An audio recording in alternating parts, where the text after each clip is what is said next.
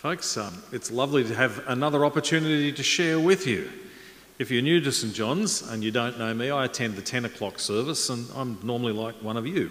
Um, and I'm usually sitting in the congregation. But um, as a member of the preaching team, occasionally they let me loose on you, and tonight's one of those occasions. Now, let's face it, the book of Ezekiel is not a book of the Bible that we read all that often. It's easy to read it, and then a few years later you forget it, and then suddenly someone like Kerry reads you a passage of scripture that, uh, and you listen to that, and if you're like me, you wonder what on earth this prophet lying down for 390 days and cooking his bread over a flaming wad of human excrement, and you start to wonder what is this chapter doing in the Bible?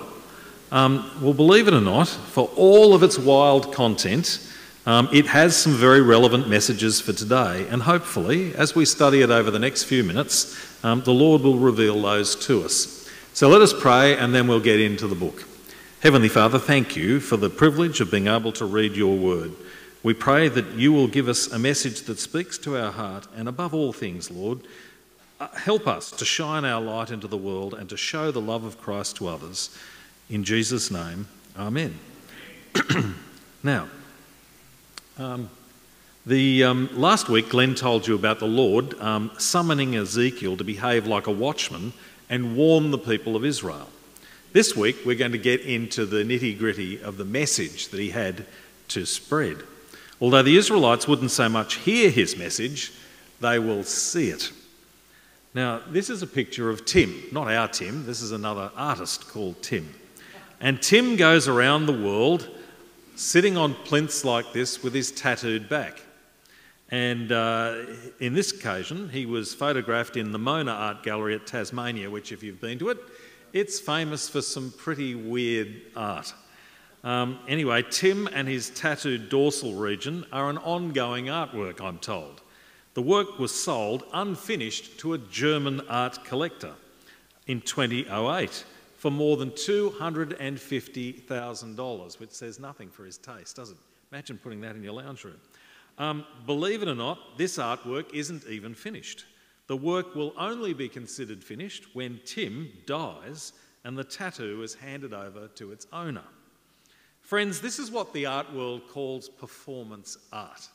We've been thinking, you usually think of art as being drawings and painting on canvas but the art world has extended art to mean things like videos and even live performances. For example, I'm aware of an artwork, I think it's in the Tate Gallery. It's a nice little lounge room, and in the middle of the lounge room is a telephone. It's an artwork by Yoko Ono. And every now and then, apparently, she rings the telephone, and one of the people visiting the gallery picks it up and is able to speak to Yoko Ono. That's a rather interesting idea of art. I remember on another occasion, my son, who is a video artist, um, he was involved in the Sydney Biennale, which is, I think, a, a, an art exhibition that occurs every couple of years. And he was out on Cockatoo Island, and his job was to paint a wall every 20 minutes. And every 20 minutes, he and a mate painted it white. And after the next 20 minutes, they painted the same wall black. And apparently, that was really exciting watching the wall change. Um, this is performance art. It's usually quite provocative, and it's thought to be something which is developed in the postmodern 20th century and 21st century period. Well, it's not really new because God told Ezekiel in 585 BC of to perform an artwork to warn the Israeli tribes who were living under the threat of further invasion and terror by the Babylonians that if they didn't mend their ways, they would face very severe judgment. The Israelites had already proven that they were not going to listen to what God had to say if they were just told. So it would appear that this time God decides to give them a visual demonstration of what's about to befall them if they don't mend their ways. Now, reading from verse 1, which Kerry read, let's just go through it and pull this uh, chapter apart. Now, Son of Man, take a block of clay, obvious enough, Put it in front of you and draw the city of Jerusalem on it. Then lay siege to it. Erect siege works against it, build a ramp up to it, set camps against it, and put battering rams around it. So, what Ezekiel is doing is a sort of a half millennium BC version of using Lego, except he's using a block of clay. And he builds a model and he's got it there for people to look at. Then God goes on. He says, Take an iron pan, which is something the Israelis would have used to build fire in and cook things in. Place it as an iron wall between you and the city and turn your face toward it. It will be under siege and you shall besiege it. This will be a sign to the people of Israel. Now, Ezekiel himself was one of the exiles of Israel who was living by the Kebar River, which is near the Euphrates. In other words, he was living in Babylon, which was the invading country of Israel. Many Jews were, in fact, taken from their country and moved around the world as a, as a result of an earlier invasion by the Babylonians. Had been allowed to keep their temple and the great city of Jerusalem all intact um, with its fine buildings. But their king was replaced uh, with a relative who was expected to be more compliant than the other ba- to the Babylonians. But according to Ezekiel, things are about to get much worse. He starts speaking to the people of Israel about five years before the whole great city of uh, Jerusalem, which had stood for nearly a thousand years and established by King David and built to its zenith under the reign of King Solomon, was going to be completely destroyed.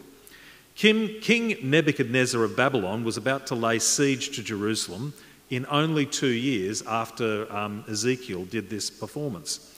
And after a three year siege, and while he was doing that, um, the three year siege meant that nobody in Jerusalem could eat, and many of them starved to death. And in fact, the book of Lamentations and the book of Kings describes this siege, and they had no food for their children, and they said even the animals had no food to drink and their tongues stuck to the top of their mouths. And then, after this three year siege, the troops that uh, Nebuchadnezzar had assembled gathered, then marched towards the city and pulled it apart brick by brick and burnt it to the ground, including the great temple that Solomon had built. And we no longer have it today. And they took away all its priceless gold con- uh, contents.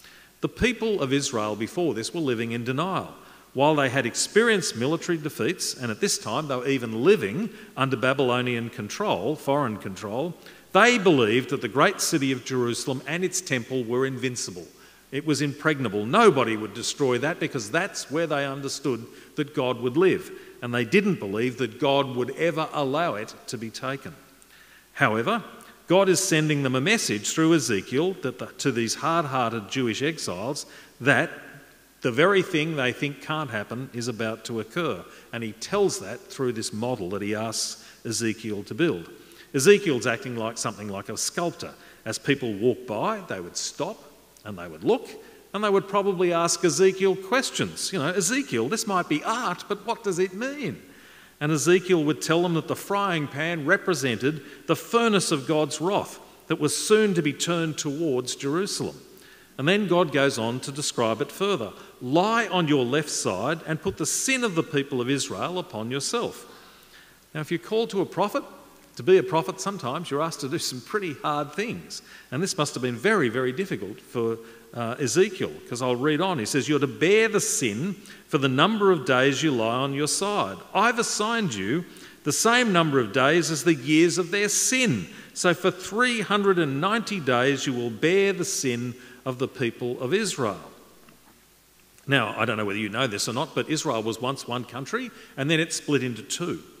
And the northern, uh, the, the northern 10 tribes formed a country called Israel, um, and for 390 years they rebelled in this state against God until the country was eventually defeated and all of the 10 tribes were disappeared and uh, vanished um, into the other populations of the world. To represent their sin, Ezekiel had to lie on his side for 390 days. Now, that's a very long time to be lying on your side. It's more than a year. He didn't lie there, I don't think, for 24 7 because God tells him to do other things, and um, we all know that he would have had to do some things like eat and do other things. So he would have got up. But for quite a part of the day, he would have been doing this performance of lying on his side, tied up so he couldn't roll over. Now, if you're an Israelite in exile and you see the prophet lying down on his side for about a year, this is going to make people talk and it's going to have some impact. But that's not all God gets Ezekiel to do. He says, After you finish this, lie down again on your right side and bear the sin of the people of Judah, the other kingdom. I have assigned you 40 days, one for each year. So Ezekiel keeps this going for another 40 days. And then he says, Turn your face towards the siege of Jerusalem and with bared arm pros- uh, prophesy against her. Uh, so while he's doing all this, he's talking at the same time. I will tie you up with ropes so you cannot turn from one side to the other until you have finished the days of your siege. The people walking past would have said, What's this meant to symbolise? And they would have realised he's there for an awful long time. And some might even have been moved to think, We have sinned against the Lord very deeply for a very long time. No doubt they'd have asked Ezekiel questions, and he might have even answered what it all meant. Now we come to the really bizarre part. God tells Ezekiel how he's to feed himself during this period of time. I'm sure you remember this. He said, Take wheat and barley and beans and lentil and millet and spelt, which is not exactly um, a varied diet, but uh, put them in a storage jar and use them to make bread for yourself. You're to eat it during the 390 days you lie on your side. Weigh out 20 shekels of food to eat each day and eat it at set times. Also, measure out a sixth of a hin of water. Now, my small group actually hit their, um, uh, what do you call it, uh, Bible dictionaries, and they found out that a hin of water is about six litres. So he's asked to drink a litre of water. I'm pretty sure he would have got up sometime during that time. Um, anyway, so he drank a litre of water at set times Eat the food you would, uh, as you would a loaf of barley bread, bake it in the sight of the people using human excrement for fuel. Now, why is he doing something as repulsive as this? Um, firstly, Ezekiel is actually warning the people of Israel that when they fall under siege in two years' time, they're going to be forced into doing some very revolting things. There's a nice poo pile burning for you so you can see what it looks like. In verse 13, the Lord said, In this way, the people of Israel will eat defiled food among the nations where I will drive them. But Ezekiel finds this a real problem for his conscience. He says, Not so, Lord. I have never defiled myself from my youth until now. I've never eaten anything found dead or torn by wild animals. No pure, impure meat has ever entered my mouth.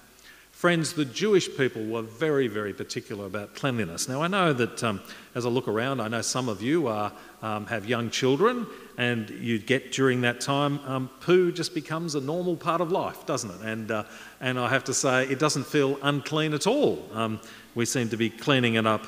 Um, I recall a picture my daughter in law gave me of my new grandson, Lockie. He's only eight months old and I said, gee, he's got pumpkin soup all over himself. And she says, no, that's not pumpkin soup.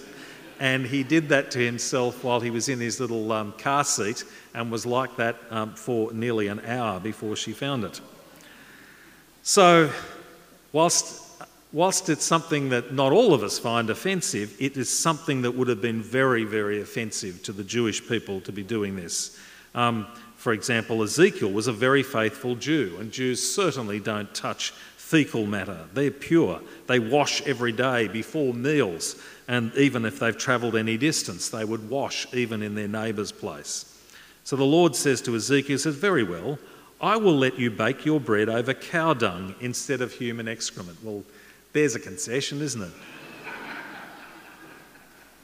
But the weight of this is going to set in. He says, Son of man, I am about to cut off the food supply in Jerusalem. We can laugh at this, but this is going to get very serious for the people of uh, Jerusalem.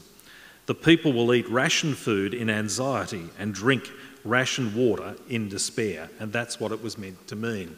They would eventually do what Ezekiel is doing while he's lying down. For food and water will be scarce, God says. They will be appalled at the sight of each other and they will waste away because of their sin. Just like Ezekiel, the people of Judah will be wasting away on limited rations. Now, this is meant to be, and I think it is, a very powerful model or living illustration of what God thinks about sin and how he will certainly judge it. I suspect this is one of those sermons you will not forget for a while um, because we've been talking so much about human excrement. Ezekiel is not talking in this case about a judgment to come in the afterlife. He is talking about a judgment that many of them are going to see and experience as the great city of Jerusalem is first of all besieged and then destroyed completely because of their sin and their ancestors' sin. Now, friends, it is amazing how thick skinned we can be about and how deceptive our hearts can become about sin and judgment. Everybody loves what Jesus had to say, but few of us remember that uh, Jesus spoke a lot about the day of judgment and hell. He described hell as being a day of weeping and gnashing of teeth. In the Gospels, he speaks more about hell than any other person in the Bible. Um, we here talk about hell, and yet we carry on as if it's not going to happen, um, as if it's not real. We go to funerals, and we prefer, when we're at a funeral, to just hope for the best, regardless of what we know to be the facts. Surely there's a back door, and God will accept them. They're a good person. They didn't take Jesus as their Lord, but they should go to heaven because they were good. Um, I'd let them into heaven if I were God um, you can see how deceptive our hearts can be on this. Jesus spoke very clearly about the reality of hell and judgment, and yet, to assuage our conscience, it makes us feel better sometimes to pretend that it's not real. Friends, we've got to get used to the idea that this stuff is very real. The people in exile were just the same. You really wonder how thick skinned they could have been. They got clear messages from God before they went into exile. They told that they didn't change, they'd be in exile. They go into exile and they're still not being moved when they're getting a message to change, even though they've experienced that judgment in part during their own lives. Now, this denial of judgment is as old as sin itself. Remember back to the Garden of Eden? When the serpent tempted Eve, what did he say to her? He said, You will not die. And yet God had told them if they ate of the tree, they would die if they sinned. What the serpent was saying in plain English was that the judgment God said would come upon you, he didn't mean it. You can eat the tree and nothing will happen because God doesn't really mean what he says. The temptation to deny the reality of justice is as old as sin itself. It persisted in Ezekiel's day and it still persists in ours. Even though we don't have a prophet lying down with a model cooking bread on a pile of dung, we have equally graphic warnings of God's judgment today happening seemingly at random all over the world. Friends, the Apostle Paul said in the book of Romans this He says, The wrath of God is being revealed. Note, he says it is being revealed. It's right now and all the time against wickedness and godlessness of people who suppress the truth of God. How is God's wrath being revealed in our world? Well, God has handed the world over to sinful people, and we can see that God's creation, made perfect, is now running amok. In chapter 13 of Luke's Gospel, we read that Jesus himself was questioned during his ministry about two disasters that happened during his life. One of them was the man-made, one was man-made and the other one was a natural disaster. The natural one was when a tower in the city called Siloam fell and crushed many people, a seemingly random act of, random act of God. And the other question, and, and the question Jesus was asked, he said, Were the victims of this natural disaster guiltier than everybody else who wasn't killed in this accident? Well, Pilate sent some soldiers into a temple to slaughter people, and there were some Galileans who were worshipping in the temple at that time and they were killed. And the question Jesus was asked were they guiltier than the others who were because they were killed in this way? And Jesus didn't say that they were guilty. He turned to the people who asked them the question and said, Look, unless you repent, you too will perish. This is a fate that awaits us all.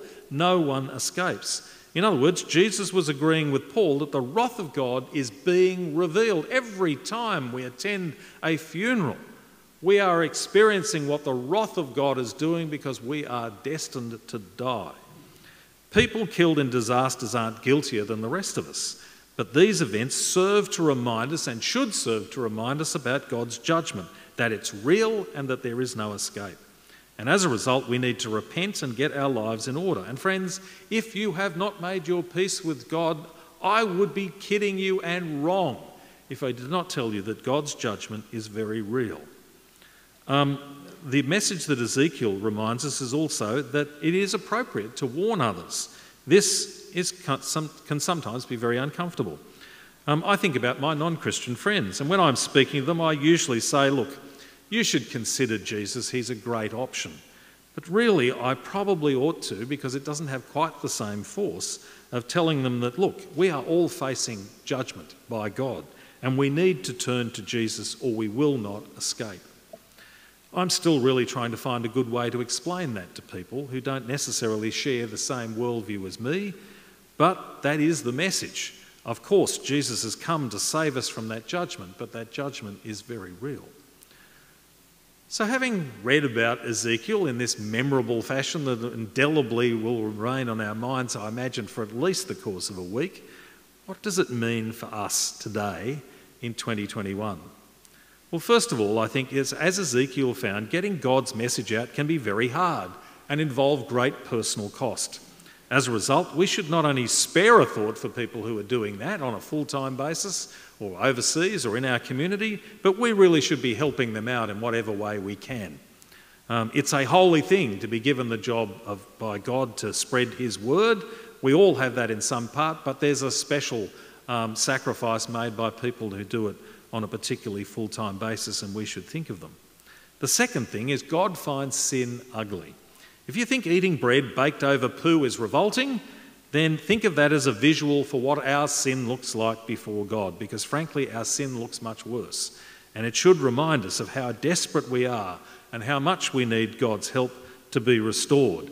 And we should have less to do with sin if you think about how ugly it looks before a perfectly holy God. And then finally, friends, the happy news of this is we are called to do some performance art ourselves. Our lives are meant to be a performance piece before the world to attract others to Christ. You're wondering how I was going to get round to the verse of the day, weren't you? Um, Jesus said in John chapter 13, He said, A new commandment I give you love one another as I have loved you, so that you must also love one another. By this, everyone will know that you are my disciples, if you love one another. As Christians, we are meant to display the love of God to each other. Look around the room, friends. These are people you have a responsibility to, in the name of Christ, to love uncontrollably and unconditionally. Sometimes, as Ezekiel found, it will involve sacrifice, it might involve effort, but the command remains we are to love each other in this exemplary fashion. And there are many love starved people who come to Christ because they see and experience unconditional, sacrificial love that Jesus inspired. Friends, I am one of those. When I was about 15 years old, I went to live with a Christian family and I had not been brought up a Christian. I saw the love that was in that household and I wanted a piece of it. And when they told me that it came from Jesus, I wanted to be part of it and joined, and my life was changed forever as I gave my heart to Jesus. Similarly, on the Sermon on the Mount, Jesus told his disciples in Matthew's Gospel, and this is where we get to our text of the day, that they should let their light shine.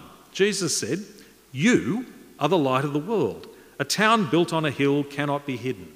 Neither do people light a lamp and put it under a bowl. Instead, they stick it on a stand so that it gives light to everyone in the house. In the same way, let your light shine before others, that they may see your good deeds and glorify your Father in heaven. Friends, you'll notice that Jesus specifically mentioned deeds, not just words. Of course, words are important, but Jesus said that our deeds that we do in the community are a means of showing God's light to the world. Friends, this week I want you to think about um, the prophet Ezekiel lying on his side for days, um, reminding people about God's judgment and cooking his dinner over a poo fueled fire and be grateful that God has not called you to do that. But you have been called to do a very different piece of performance art to love each other and to do good deeds in the world. So we should think deeply about how we might do that and express that, because if anything, that is the message that Ezekiel has for us today. It has been a great pleasure sharing that with you, and I suspect that you'll at least remember the topic, if nothing else, of this sermon. So thanks.